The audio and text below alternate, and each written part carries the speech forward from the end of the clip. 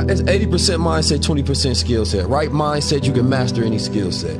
If you can teach young men, right, how to develop the mind of a man, because a man is his mind right? Your ability to take ideas out your head and bring them into reality.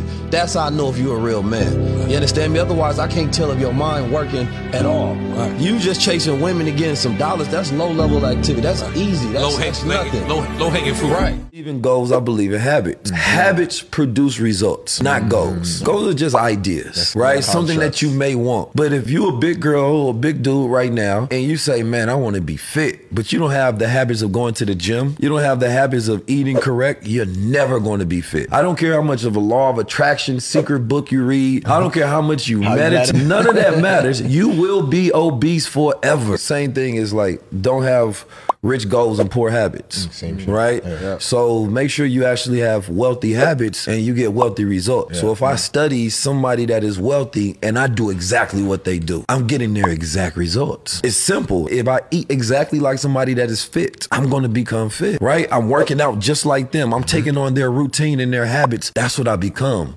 because habits produce results. Goals just are ideas. Tell the quality of a man by what's in his mind because he's only going to produce what's inside him right? Mm-hmm. So what he sees for his life is what he produces and what he projects. A man having a vision is basically his way of impregnating himself with ideas and then having a purpose of something to do. Mm-hmm. So vision gives you purpose. It gives you direction for every single conversation you have, the things you read, the people you talk to.